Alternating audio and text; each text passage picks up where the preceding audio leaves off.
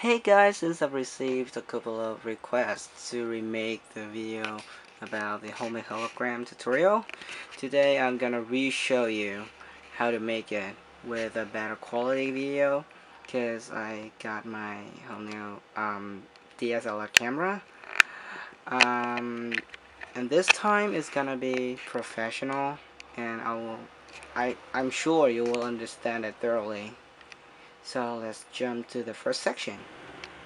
So what you will need for this experiment are a box. I will use this same iRobot box.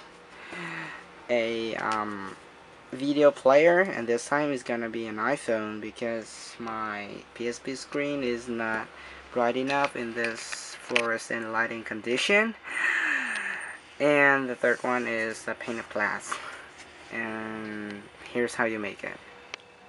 Okay, so first we're gonna put the box at the edge of the bed and then I will put a pillow over here and my glass pane just like this.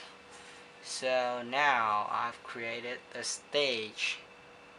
I call it the stage because my virtual robot uh, is gonna stand on the stage on the box and as you can see the class is um, diagonal in a diagonal position to the bed and that will ensure my reflection of the phone screen to stand right on the box.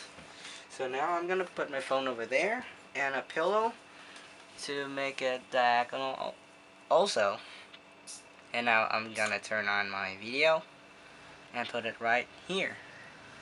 So I'm gonna do a little uh, adjustment to make the phone screen onto the box first. And then I'll open the robot.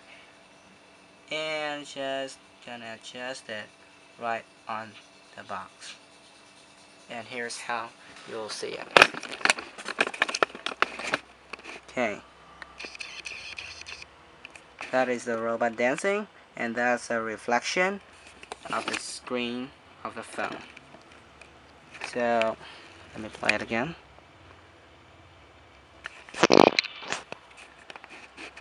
A lot of people ask me where to find the video. Well get on google and search for white robot crazy dance on black background and you will certainly find one and download it then do the same thing I did. So that's pretty much everything guys. Thanks for watching. Please subscribe and comment if you want.